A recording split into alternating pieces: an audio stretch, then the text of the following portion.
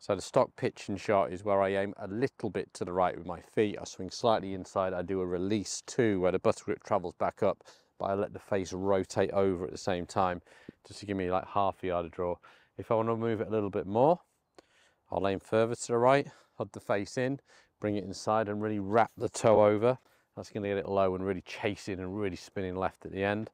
Okay, and if I want to fade it, I can open up, take it out, cut the wrist across, hold it that way, and that'll move in left to right. So different ways of hitting pitch shots, all depending on pins and lies and, and ground condition.